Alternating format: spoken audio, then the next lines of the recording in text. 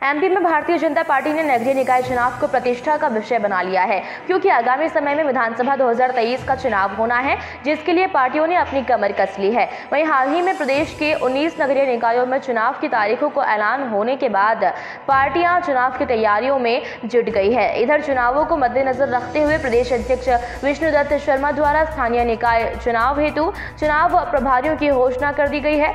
MP, BJP ने इस चुनावों के लिए चुनाव प्रभारियों का नाम का ऐलान करते हुए एक सूची भी जारी कर दी है। बता दें कि चार ज़िले की तेरह नगर परिषद और छह नगर पालिका के लिए नामों की सूची इस प्रकार है। बीजेपी ने सबसे अनुभवी नेताओं को मोर्चा पर तैनात किया है। वहीं इसमें पूर्व विधायक, प्रदेश कार्य समिति सदस्य, पूर्व महापौर, प्रदेश उपाध्यक्ष, पूर्व जिला महामंत्री, पूर्व जिला अध्यक्ष, जिला उपाध्यक्ष और नगर उपाध्यक्ष को प्रभारी बनाया है। गौरतलब है कि राज्य निर्वाचन आयोग ने चुनाव की तारीखों का ऐलान करने के बाद ही निर्वाचन क्षेत्रों में तत्काल प्रभाव से आचार संहिता लागू कर दी है और वहीं 20 जनवरी को सुबह सात से शाम पाँच बजे तक मतदान होगा और चुनाव के लिए नाम निर्देशन पत्र लेने का कार्य 30 दिसंबर से 6 जनवरी तक चलेगा। 9 जनवरी तक अभ्यर्थी नाम वापस ले सकेंगे। वहीं चुनाव परिणाम तेईस जनवरी को आएँगे।